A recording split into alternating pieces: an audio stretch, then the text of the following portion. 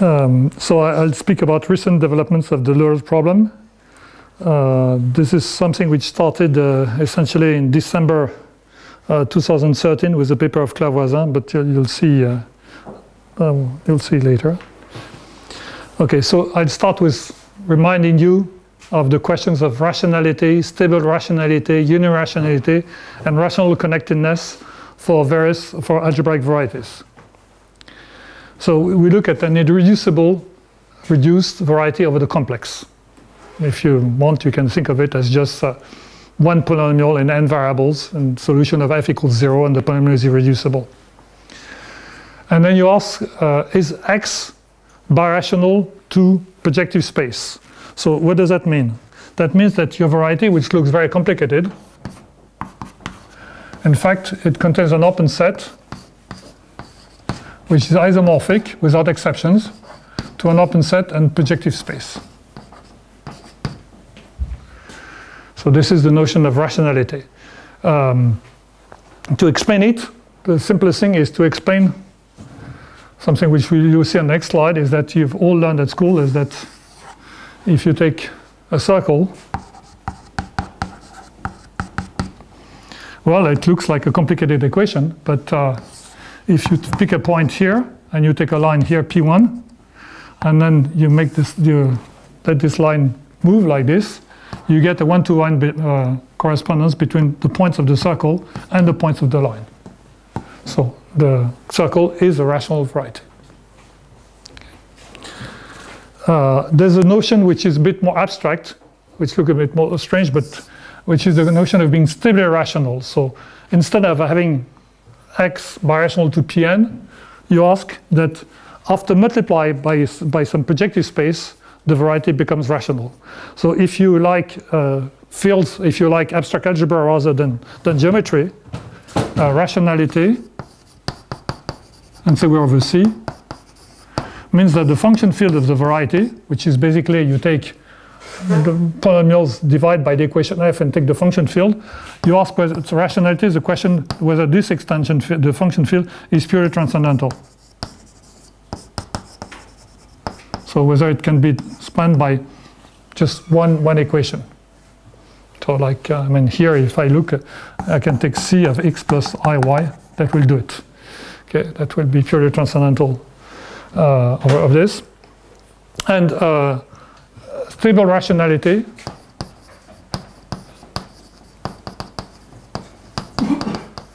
And you, ask, you allow extra variables. So you allow variables. So what did I put here? Uh, Pn. So T1, Tn, algebraically independent. And you ask whether you can produce some extra variables so that this extension is pure transcendental.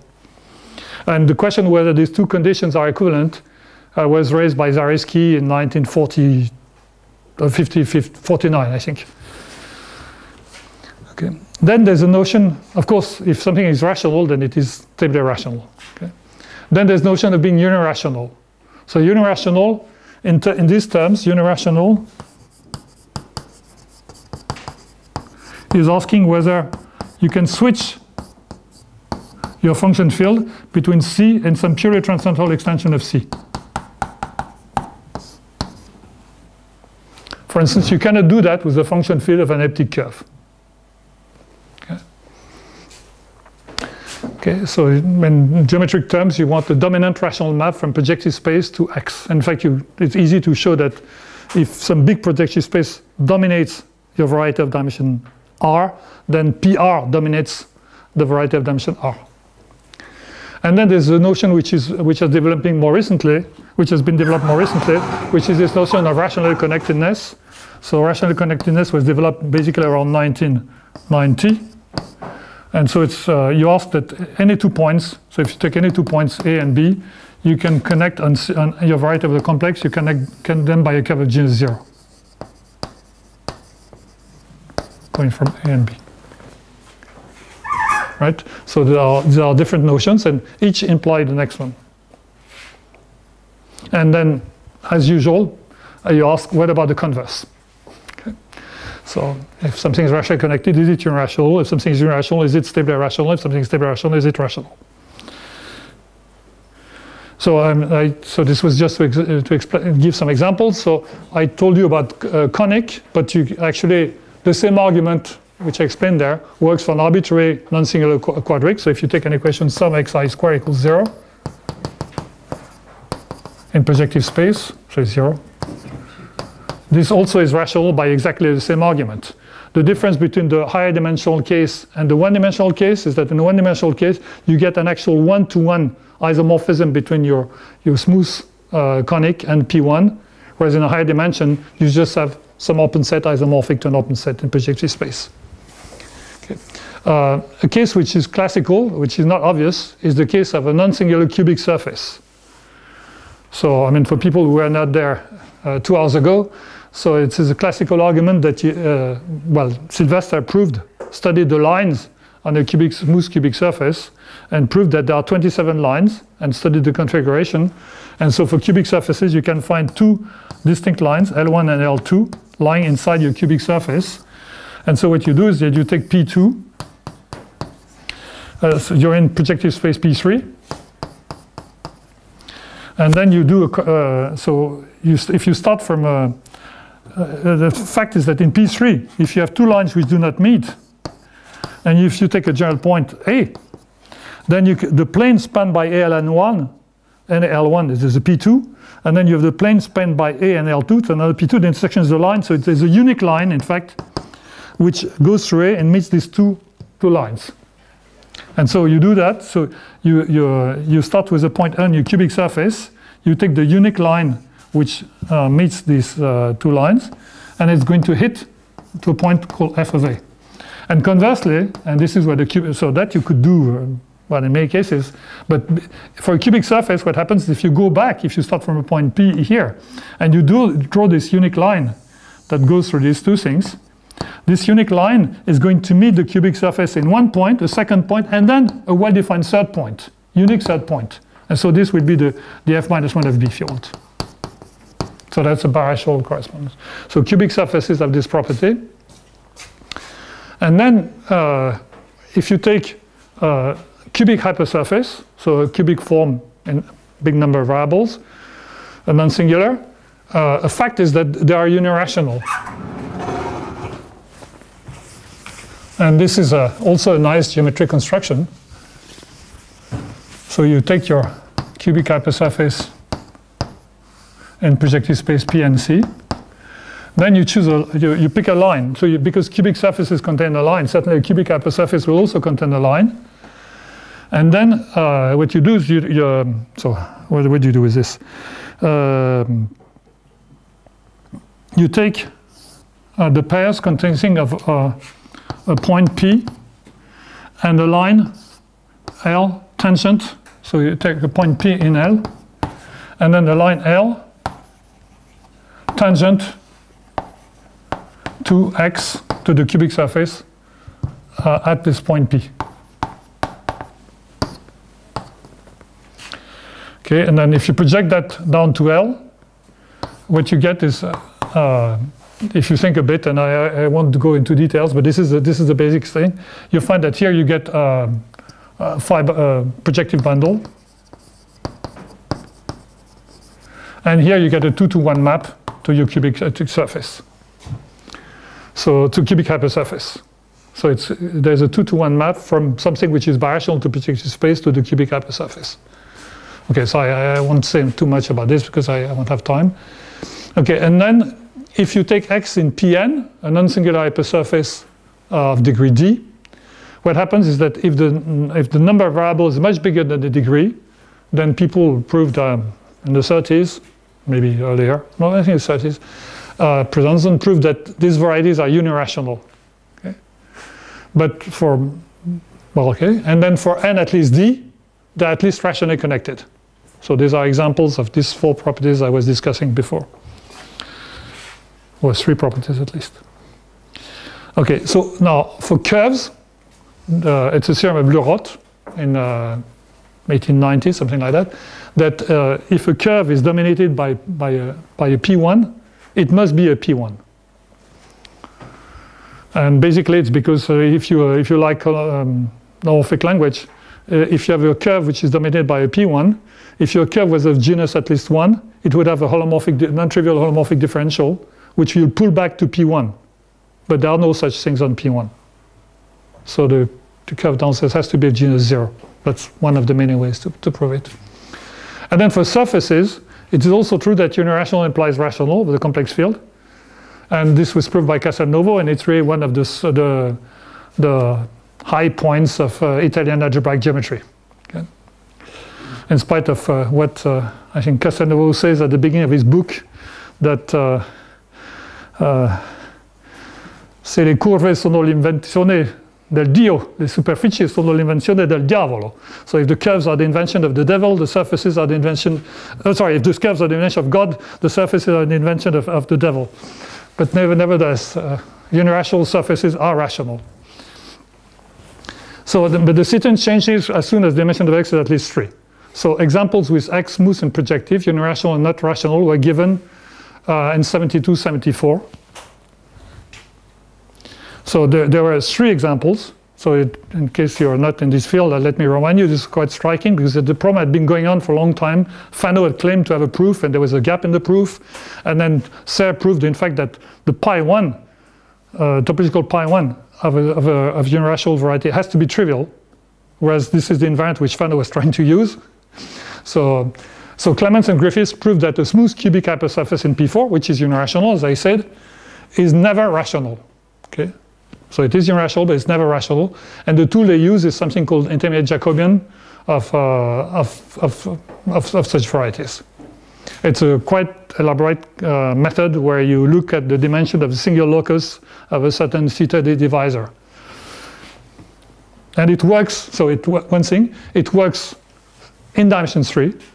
I don't know of extensions in higher dimension. And uh, it doesn't say whether x is not stably rational. So it shows that x is not birational to P3, but it could be that x cross P1 is birational to P4. The second method was the method by Iskovskikh and Manin.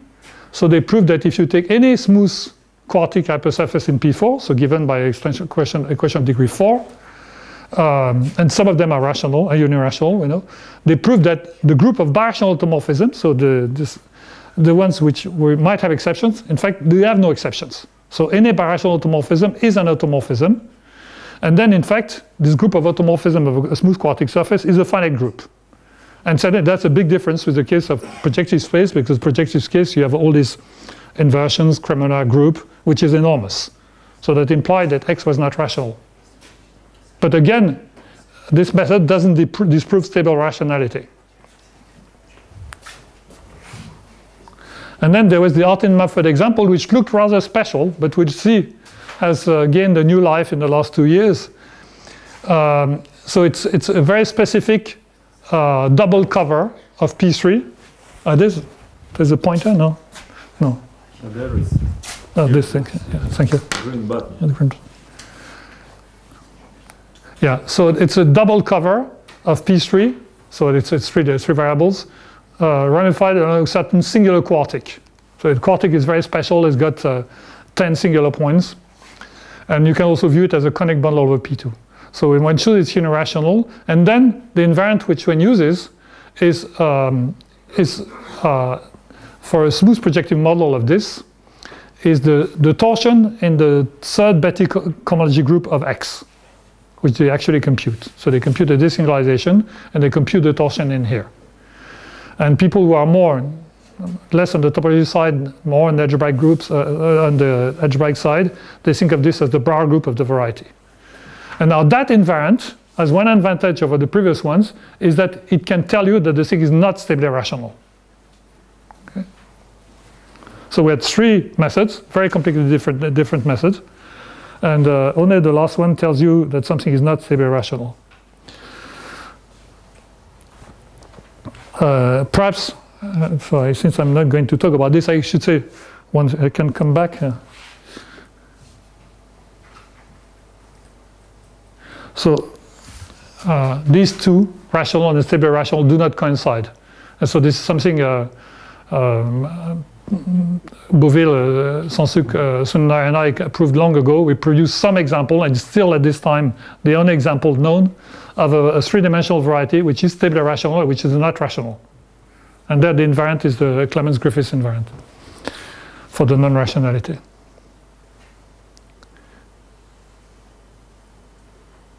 Okay, so uh, in uh, 1988, uh, and I, we looked at the Dartin uh, method and we wanted to generalize it to see whether there was an invariant that the Brauer groups that could do the same service.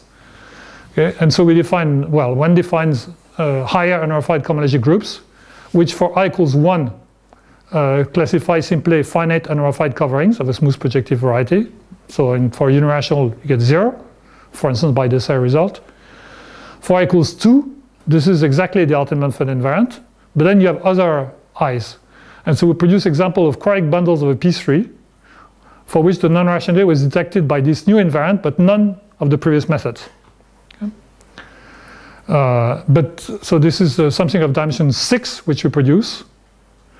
But if we are interested in and it's rationally connected, but it's of dimension six. So you can ask what, what happens in lower dimension. And in fact, there's a theorem of Voisin which shows that for rationally connected threefolds, this group actually is zero. So here, for rationally connected threefolds, to tell whether something is not stable rational is getting harder. Okay. Now, something uh, happened in so 20, 20 years later, after this uh, series of three papers, the Kollár uh, had a very nice uh, method to prove that in fact many hypersurfaces of degree d smaller than n, roughly if d is big enough, uh, roughly bigger than 2n over 3, if they are sufficiently general, so it's not like the Clemens Griffiths where no thing or the, Maniskowski. So if they are sufficiently general, then it's not rational. In fact, Kollár proves that X is not even birational to some variety cross P1. And so with because this property of being birational to X cross P1 is something which specializes in families. So for instance, if you take a, a family of cubic surface, it can degenerate to something which, so cubic surfaces are rational. It can degenerate something which is not rational, like uh, x cube plus y cube plus z cube plus lambda t cube equals zero. So if you specialize to lambda equals zero, you get something which is not rational because you get something which is birational to P1 cross an elliptic curve. But still there's a P1. Okay, and this is a general phenomena uh, proved by, by Matsusaka that uh, things specialize. In fact, Kollár specializes to characteristic P, so it is brave, and they use differentials over the characteristic P field to, to prove his, his result. Okay, so so I wanted to, so I, in fact, I prepared this. So stable rational is different from rational. This is what I, I wanted to say. Yeah? Using, for the non-rationality, we use the, the Clemens-Griffiths method, as improved by Beauville. For unirational, different from stable rational, as I said, we have the Brauer group, the Artin-Mumford invariant, or the invariant, the unramified cohomology. And then this big open problem, but I have nothing to say about this, and nobody has anything to say about this, is whether rationally connected is the same as unirational. Are there any candidates uh, that should be uh, suspected to be rationally connected but not unirational? Yeah, Beauville always mentioned an example, but I've forgotten what it is. So it's uh, it's something of degree four of degree five, a hypersurface of degree four or degree five in projective space with a, with a, certain double line on it. But I, well, I can search for you the the one the candidate which Beauville okay. produces. Yeah, but, uh, but for instance, conic bundles of a P2 uh, they're, they're automatically, they're obviously rationally connected because if you take a conic bundle of a P2, you take any, you see, if you take a conic bundle of a P2, so a family of, of conics fibered or, or a P2, if you take any two points, well, uh, well, you can uh, you can project them to points here. So you have A and B. So it projects through so C and D. Then there's a line in P2 going through C and D. And then when you have a conic bundle of a line, it has a section. This is just Tsen theorem. So you find a section here, which is a line. And then you go A goes to A dash, goes to uh, B dash, goes to B, and so you're connected by a chain of curves of genus zero, and then because of properties of rationally connected varieties, in fact, A and B are connected by just one curve of genus zero. So any conic bundle is, uh, is rationally connected over P2, but nobody believes that they're unirational. So these are, the, yeah, people don't believe they're unirational. It's, I mean, people like Iskovskikh have been thinking about this problem many, you know, for many years. It's very, it's a very big open problem. But nobody believes they're irrational. Okay, so uh, let's look at smooth cubic hypersurfaces. So as I said, all are unirational. The Barak bar, uh, the, Artin-Mumford invariant is zero. So here we have nothing to say. For n equals four, they're never rational. So I repeat, we have no idea whether some of them are stably rational, whether all of them are stably rational. This is entirely open. For n equals 5, some are rational, and then we do not know whether this is an exception. And for n arbitrary, again, we have no idea whether they're all stably rational or not. So it's just to tell you how ignorant we are. Okay, now uh, let's look at the, Iskovskikh-Manin thing. So these were smooth quartic hypersurfaces. Again, some are unirational possibly all, we don't know. And so, but they're never rational, but the Artin-Mumford invariant is zero. And then there was a question whether it's stably rational. So in this lecture, uh, at the end, we'll see that we know how to answer this question in general. So this is a new development which occurred in beginning of 2014.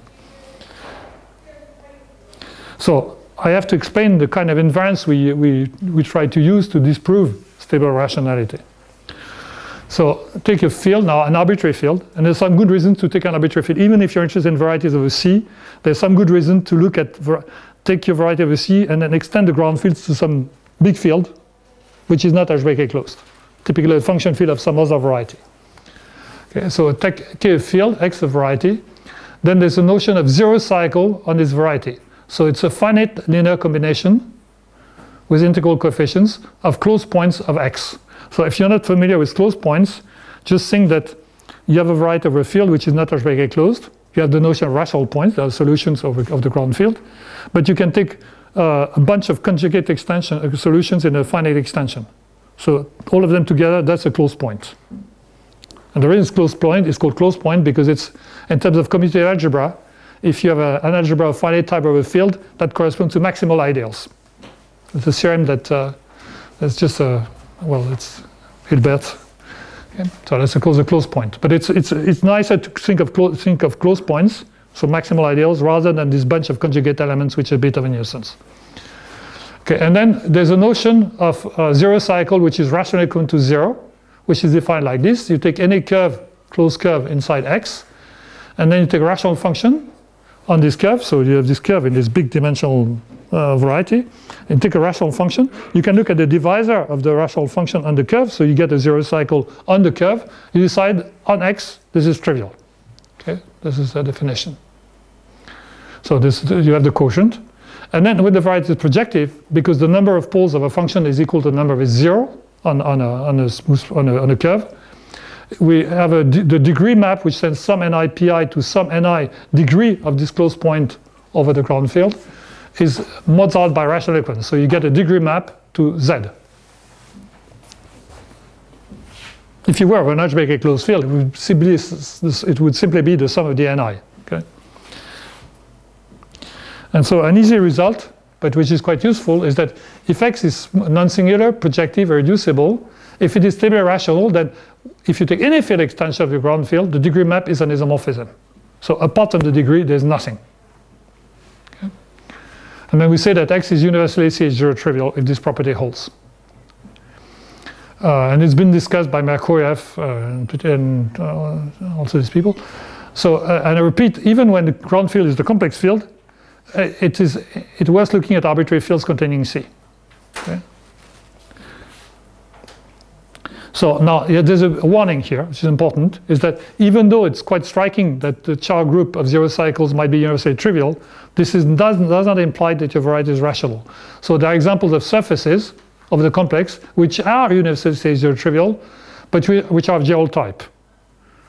So therefore, they're, they're not at all rationals. Okay? So that's, that's not a sufficient, uh, there's no dream that uh, universal triviality of the Chow group for all varieties would imply stable rationality. So, yeah? Was there a question? Yeah. so, the people who do not like function fields or big fields, they speak in terms of decomposition of the diagonal. So this property that says zero is universally trivial, you can translate it like this. So suppose you have a complex field, again. So a Bloch and Srinivas have studied the consequences of C0 omega equals Z, where omega is an arbitrary algebraically closed field containing C. Not an arbitrary field, but an algebraic, algebraically closed field. Okay? And then there's a translation, which is that you look at the diagonal in X cross X, so the set of elements uh, at PP. Uh, so that's a subvariety of codimension D in this variety of dimension 2D. And then this, this assumption here uh, is equivalent to the fact that there exists some positive integer such that n times the diagonal decomposes as a sum of two things, uh, two divisors of uh, up to rational equivalence in the Chow group of cycles of codimension D, uh, where Z1 has support in point times X, and Z2 has support in some proper variety cross X. So this is called the rational decomposition of the diagonal. And so what, for instance, Bloch and Srinivas proved is that this assumption here is very strong, or this one, because in fact they're, equivalent. First, it implies that all these cohomology groups are zero.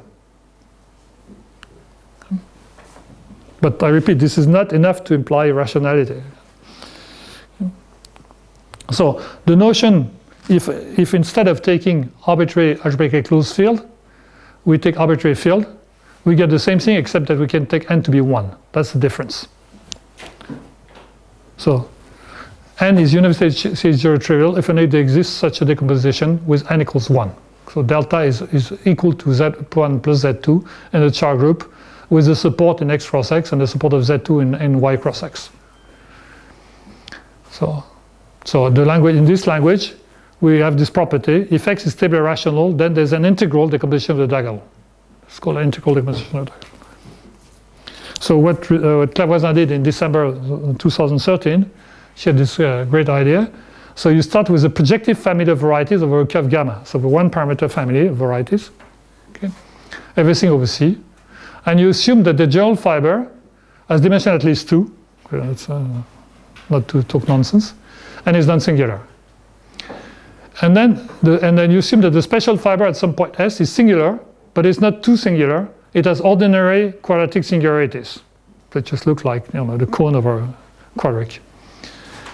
Okay, and then you call z goes to x a resolution of singularities, which is very simple. That is, you blow up each singular point, and on top of this, you get a smooth quadratic. And then the specialization theorem with Van proof is the following.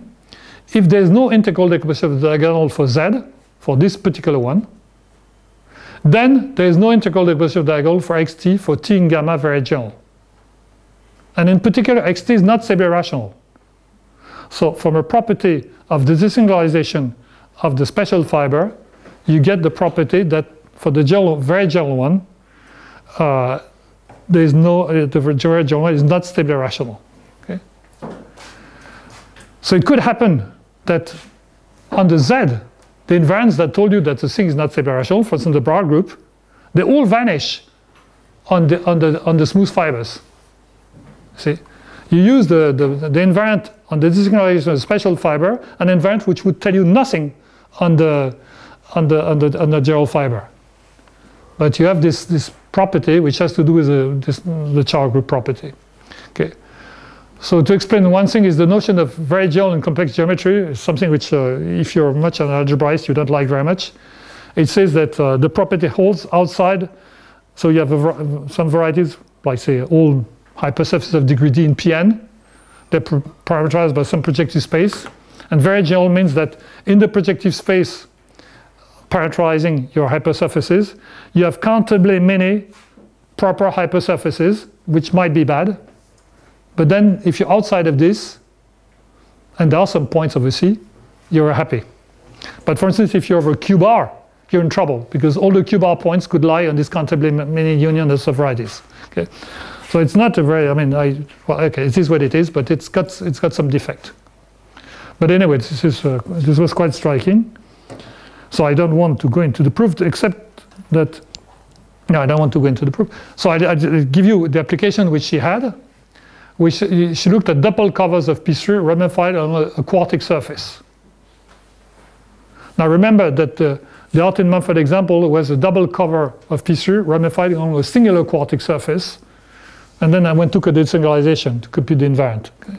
So she does something even more general, but let, for this colloquium, let's stick to this. she takes a ramified on a smooth quartic surface, okay, and then she lets it degenerate to the Artin-Mumford counterexample. And the result implies that if S is very general, so if this, if this quartic surface is very general, then X, this double cover, is not stably rational. Okay, that's the result by this degeneration argument. But in fact, it is unirational and it satisfies that barb of x is zero and it also satisfies that the H of phi is zero. So all these invariants tell you nothing, but this, this, uh, this special argument to something singular which you resolve and which you resolve nicely tells you that the generic one was not stably rational. It's quite, uh, it's very nice, very uh, simple to state. Uh, okay, I repeat, general means outside the countable union of purposive varieties of projective space parameterizing the quartic surfaces in this case. So, so I, I, told you what the method is. So she specializes to this uh, Artin-Mumford thing, which is, has 10 ordinary quadratic singularities. Okay. So I repeat the fact that the barb of Z or the H3 Z with integral coefficient torsion is non-zero implies that there does not exist a uh, an integral projection of the diagonal for this Z.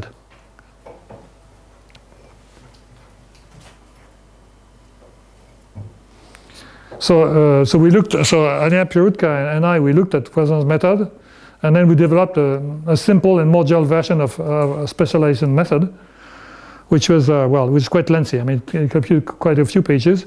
So we did something uh, very more in the, in the old uh, French Orsay algebraic geometric style.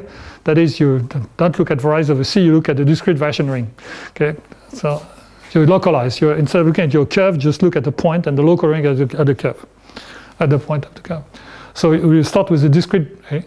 Start with discrete valuation ring. I mean, you can think of, uh, you can think of, of course, you can think of C double bracket T, but you could also think of ZP. Okay, uh, contiguous. Uh, the K is the field of fraction little k is the residue field. And let's assume here that the residue field is algebraically closed, like this one. And then you take a flat projective family over A. Then make two assumptions. The generic uh, geometric fiber, that is, you go over a capital K and you go over to algebraic closure, is non-singular and universally C is zero trivial.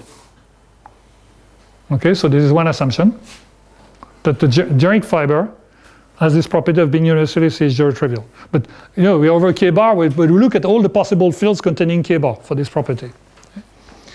And then look at the special fiber.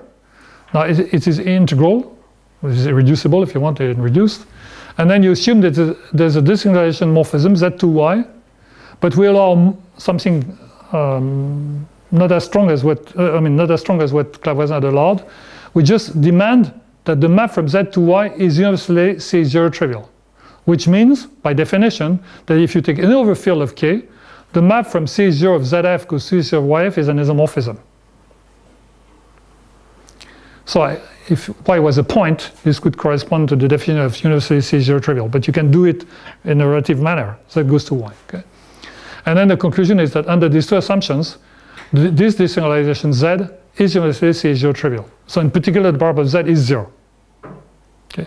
So if the geometric generic fiber under this assumption 2 here, which has to be discussed, if the generic generic fiber has a, uh, Chow group of degree 0, which is universally trivial, then the same holds for the, the desingularization of the special fiber. So it sounds very much like what we had before. Uh, the difference is that, uh, in fact, in, uh, to prove this, you don't have to prove uh, to use the big machinery which which Claire Voisin was using, which was using Hilbert schemes. It's just yeah, just a theorem of Fulton, which is a very basic theorem which about specialization of Chow groups. So in a situation like this, where you have something which is uh, proper and flat over a discrete valuation ring, the map there is a specialization map that goes from CH0 of the generic fiber to the CH0 of the special fiber. So basically, you have your zero cycle on the generic fiber. You spread it out to one cycle on the total space, and then you intersect with the special fiber. And of course, something is to be proved is that it mods out by rational equivalence. It does. Okay. So this is all that's used. and also we don't impose any regularity condition on total space, which is something which Claire was imposing. And this is very convenient in practice because when you deform something which is very singular, it's very hard to deform it to something in such a way that the total space is non-singular. So the so I discussed the hypothesis in the fiber. So the uh, so we have this z goes to y, this is desingularization.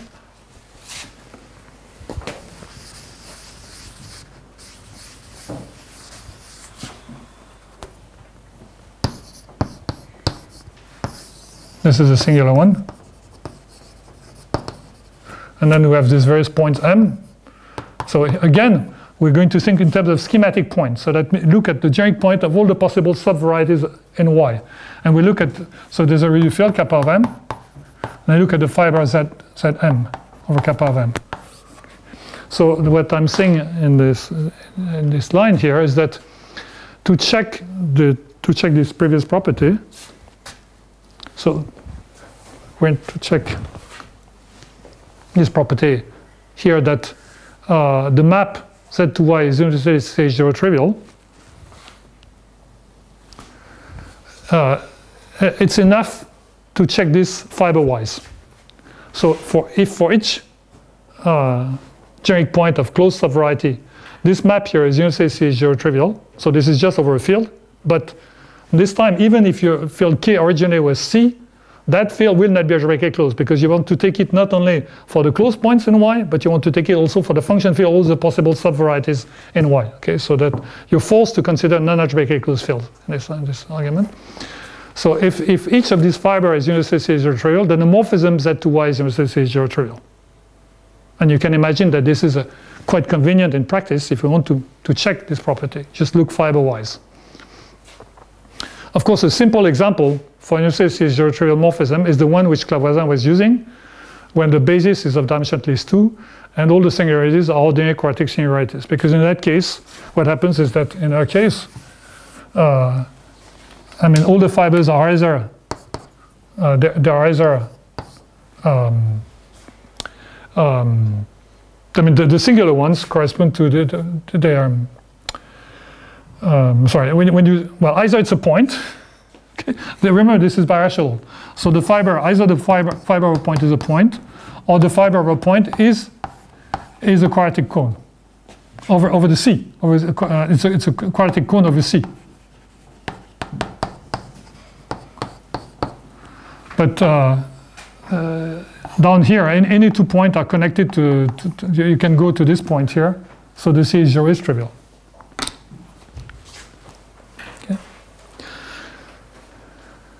Okay, so let's go to the next one.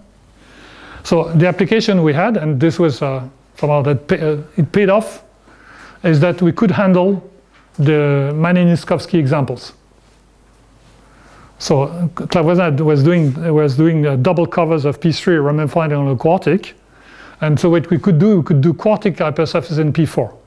Okay, uh, so claim is that we can find families like this, such that the joint fiber uh, is um, okay.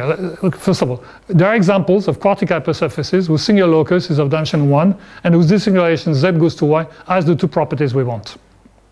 Okay? And so to do this, again, we start like Claire Voisin with, uh, with the Artin-Mumford surface, which I detailed here. It's quite amusing. It's, it's defined like this. You have um, variables. So this is uh, the surface in P3. You have alpha 2 of degree 2, beta 3 of degree 3, beta gamma 4 of degree 4. And then the relation is that beta squared minus alpha gamma is the product of two elliptic curves. Of, uh, and uh, and alpha is a conic which is tangent to each of these elliptic curves. So I mean geometrically it's quite nice uh, construction. Okay. And so the Artin-Mumford double covered is defined by taking this and taking Z4 square here. So it's a double cover ramified along this. And so what we do very simply is that we want a quartic surface. Well, we produce a quartic surface. We replace the Z4 square by Z0 square, Z4 square. So it looks very trivial. Now, the difference is that now uh, this thing is more singular than the, than the double cover initially was. So the, the double cover was ramified along, uh, uh was uh, singular only above these 10 singular points. And so you, you could just blow up these 10 singular points and you have something nice. Now here, the singular locus of this one is has some curves. So you have to do the blow up. And now it's something which, uh, if you've opened any book on uh, singularities, we, you all know now that there are many ways to do disingularized singularities in characteristic zero, but in fact they're all very complicated.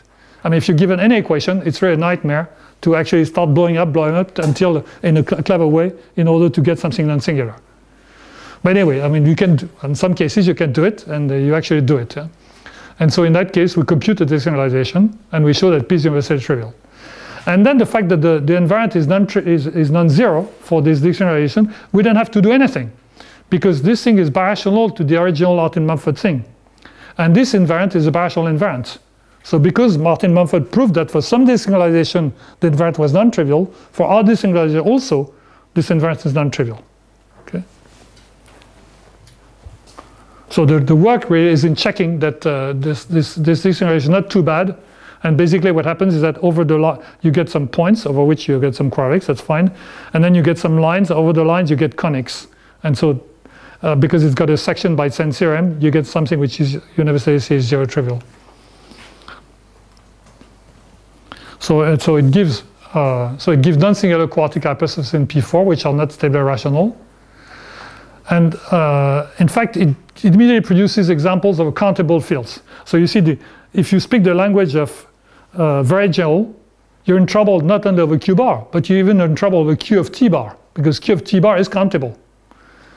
So here, I mean, just you take your Artin-Mumford example of a Q bar, and you can write some of a Q bar, and then you take a P1 in the space of parameters that goes through this point, and you take the function field of that P1, and you're done. So over, over Q of T bar, of Q, uh, yeah, over Q of T, one variable, algebraic closure, you get some examples of varieties which are not stably rational. Okay. It is not over Q bar. It's not, well, it's to start with, yeah, yeah, to start with, the thing which is easy to do with this method is that you have your special point of a Q bar, so this point of a Q, a Q, Q bar, where you have this uh, Y here, which is over Q bar, and this synchronization. Then you're in, this is a space of parameters. And then you have the hypersurface of singular uh, quartic hypersurfaces. You take any P1 defined over Q bar, which goes through this. And then you look at the joining point here. So over this field, over Q bar of T bar, you get some quartic, well, actually over Q bar of T, you get a quartic surface, a quartic hypersurface, non-singular, which by this specialization argument is not stably rational, and which is defined over Q of Q bar of T. I mean, it's not stably rational even if you go over to the algebraic closure, okay? That's the point, uh, even over, but it is defined over this small field. But in fact, because of the flexibility of, uh, so this is also, I mean, you have to defend yourself. So the, uh, the flexibility of our specialization theorem is that because we don't use this um, argument with Hilbert um, polynomials, uh, we just use something with discrete valuation rings. Discrete valuation can be of unequal characteristic. Okay. And so using this, one can actually do a special argument with some ZP. Or if you prefer some ZP, Z localized at P. So over FP bar, you, so you start with an Artin-Mumford example over FP bar, and you can do it because it's, it's quite obvious. The bar group specializes nicely. So you start with an example of FP bar, and then you lift to ZP, and then you get an example defined over Q or some finite extension of Q. Okay. Okay, so this is using specialization and unequal characteristic to find fields, yeah? So eventually there is even an example of quartic, I mean not example, a specific example, but uh, you know at least that there is uh, an example of quartic which is not stably rational and which is defined over Q bar. Absolutely, yeah. Okay. And in fact, I think if, we, if you work hard enough, you can produce one over Q, okay. but uh, they have to think a bit more. Yeah. Yes, yes, by all means. And in fact, not only that, but in fact, there's Zariski dense in the space of parameters. Okay. Uh, okay, so there was further work. I mean, so uh, uh, so Beauville used the special argument. Basically, I mean, he's an equal characteristic. I mean, he's really a complex algebraic geometry at heart. So, uh, so he showed that double covers of P4. So um, so Claire Voisin had done double covers of P3. So he showed the double covers of P4 and of P5 ramified along a very general quartic hypersurface are not stably rational. And also the double covers of P3 ramified along a very general sextic surface are not retract rational. So in each case, it's a problem of uh, controlling the desingularization. And so what happens is uh, why it stops at P4 and P5 is that big, if you go beyond that, the desingularization becomes very complicated. So it's, uh, it's hard to say. We haven't mentioned what is retract rational. I haven't mentioned what is retract rational. I'm sorry. Yeah, okay. So retract rational is, is even, yeah, I, I, should have, I wanted to erase the word retract rational, but I forgot to erase it. So retract rational means that you take a variety X and you ask that there exists an open set U. There's a map like this. And V is some open set in affine space AN, a big dimension. This one is of dimension D. This one is of big dimension. So the identity on some open set factorizes through an open set of a rational variety, possibly of bigger dimension. And the idea is that, I mean, people who are in, I mean, more on the homotopy side, they can feel why this, if you have something like this, an invariant that you have here, because it goes through affine space, it will, it will vanish. Okay, so uh, it, and this is contractible here.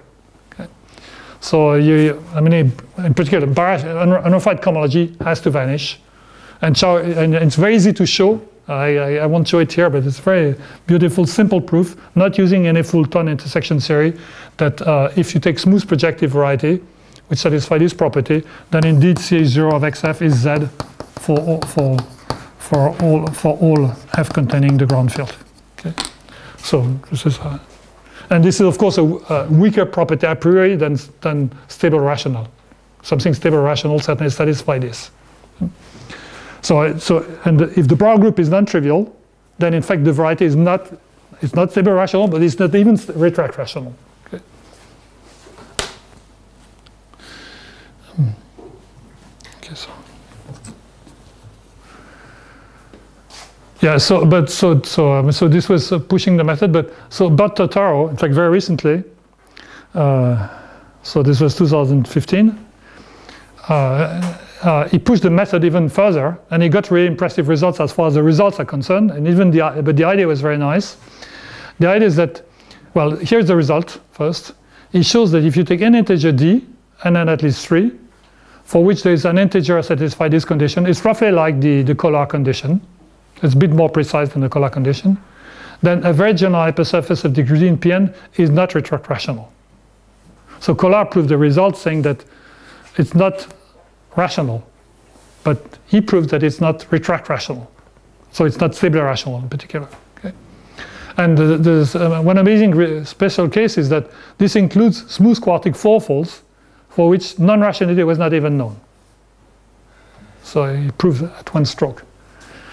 And so Kola, uh, Totaro's idea was to mix up this specialization technique with Kollár's argument from 20 years ago. And I must say that all the people who have been involved were quite jealous not to have found the idea because once you say it, it's clear it's going to work. so, okay, so he uses specialization method and unequal characteristic, okay, as I said we, we could do and we had done. And then for hypersurface of even degree, he uses the varieties y with a simple, so, uh, so the specialization, it, it has a, um, it has a simple representation of singularities, that goes to y, and in particular, it, but but the, the, the z has the property that there are some global differentials non-zero. Okay, and this was the invariant which Kollár used. This is something you cannot do in characteristic zero. So in characteristic zero, this doesn't matter the work. I mean, you specialize this. But here, what happens is that you specialize to something which is uh, a totally inseparable double cover of some other thing in characteristic two. So it looks a bit awful, but it works extremely well. And so, and then he notes that the z goes to y because uh, what, what the work which Kollár had done shows that the resolution is very simple. So it is universal uh, CH0 is, uh, isomorphism. And then, then he has to use this property combined with the result of Gros about cycle maps to show that in fact the Z is not universal C0 trivial. So this property implies that the Z is not universal C0 trivial. And then from this follows that an algebraic fiber, the geometric generic fiber, is not universally C0 trivial. Okay? And therefore it's not Seber rational. So this was uh, quite striking, and I think this is the end of the story. Any questions? Yes. kind of fu- funny question. So, uh, Totaro, I I know that Totaro recently was uh, quite curious uh, in finding very specific, maybe uh, surfaces, maybe trifles uh, in characteristic two. Uh, I mean, some singular uh, surfaces. Yeah. Yeah. Is it not? due to Totaro? Yeah, Totaro. yeah, yeah. I mean, he's using this. Yeah, Ah. this it's, it's exactly this. This uh, these things which. Uh, so you can do it in characteristic p. So the, the but the thing is, you can why p equals two. Yeah. The reason is that you get better bounds for the n and the d. You can do it for any p, but if you take a bigger p, you don't, the, the the the bound between n and d is not as good as the one you get for p equals two. That's the only reason why you look at p equals two. So- But Mhm. yeah, the, the z is singular. This, these are the ones he's, uh, he's been using. Yeah? Uh-huh. I just uh, there was a talk which I attended, Yeah, not due to him, but due to another person. Uh, I don't remember his name. yeah. Uh, and the person searched. Uh, I mean, the talk was about uh, very special uh, surfaces in characteristic two. And then it's, it's, it's not surfaces here. It's not, it's not surfaces. Not Maybe it was not about surfaces. No. Okay. With some special desingularization. I, I don't know. I don't know. But uh, in this case, the, the whole desingulation work had been done by Kollár 20 years ago uh, for, the, for this one. Uh,